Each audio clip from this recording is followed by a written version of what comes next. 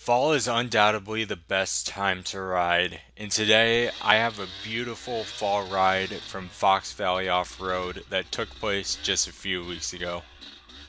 I'm starting the ride today with my usual GP loop that I've been riding the past few times I've been to Fox Valley Off Road, but you can see the leaves are changing color. However, it's almost 70 degrees today, so it's a perfect day to go riding. With that, though, there are a lot of people here at Fox Valley.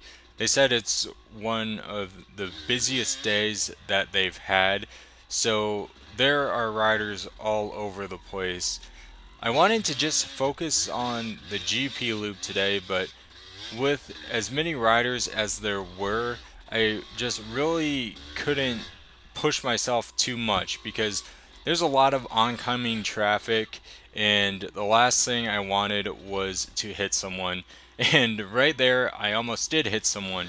There's a younger rider coming up this hill as well so it's something that I really had to keep in mind and as the day went on I ended up just going to the MX track and throwing down a few laps there just because it was way too busy out on the trails.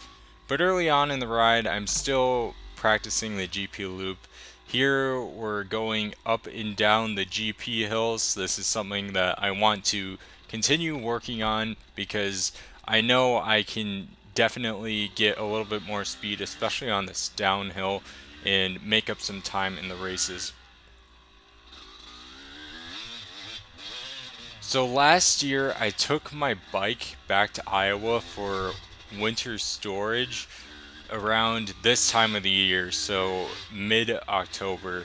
And I really regret doing that just because the trails here are so beautiful during the fall and honestly just riding in general in the fall in my opinion is so much better and so much more fun. I really don't know what exactly it is, but it seems to be a common theme for a bunch of riders, just riding in fall is the best.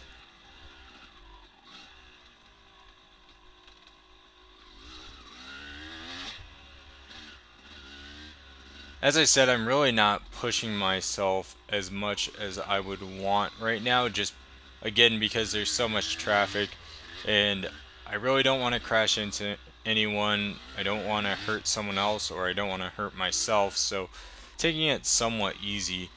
But here it's almost like I'm applying a filter to this video just because all of the orange and just the color of the leaves it, it, it's so awesome I know I've talked way too much about how cool this place is during the fall but I I really just need to drive the point home that that it was a lot of fun today. I had a really good ride. Then here we're going on this really rocky uphill. It seemed like as the year went on, more and more rocks developed on this hill, which makes it really tricky. The GoPro doesn't really do justice, but the rocks just throw you all over the place, which can be kind of sketchy, but as long as you stay on the gas and you don't bog down too much, it's not really do or die. It's a, a simple hill, it's just the rocks add a, a little bit of a challenge to it.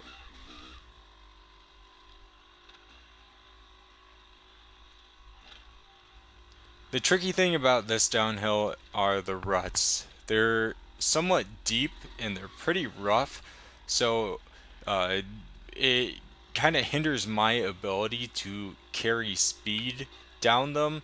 So definitely another hill that I want to continue working on because I want to shave off as much time as possible on my laps for the GPs and hopefully next year we can slowly start to see my results improve.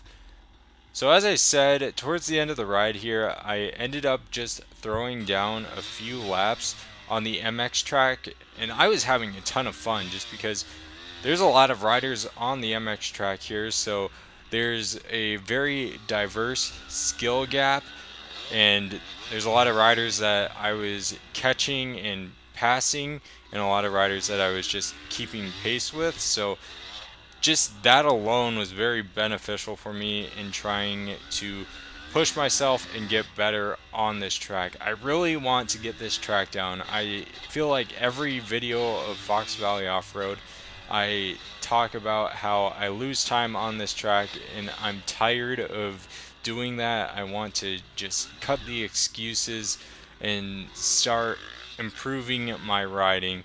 And I'm trying to do that. Every time I go to Fox Valley Off-Road, I'm going to be working on this track, which it might get a little bit repetitive, and I apologize for that, but I want to document every race and every ride that I do on this channel and sometimes that just might get repetitive, but that's part of me developing as a rider.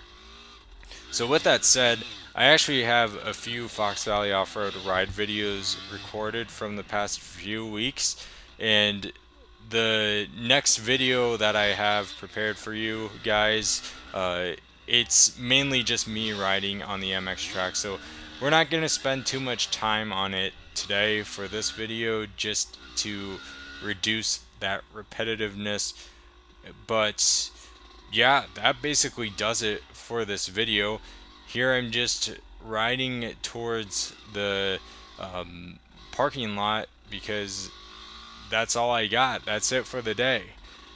So I hope you enjoyed this fall ride at Fox Valley Off-Road. As I said I definitely did. I I really enjoy having my bike back. Not having my bike for a month really sucked, but I have it back. It's running great, and I am trying to make the most out of the last few weeks of the season that we have left. So, I hope you enjoyed this video, and I will see you next time.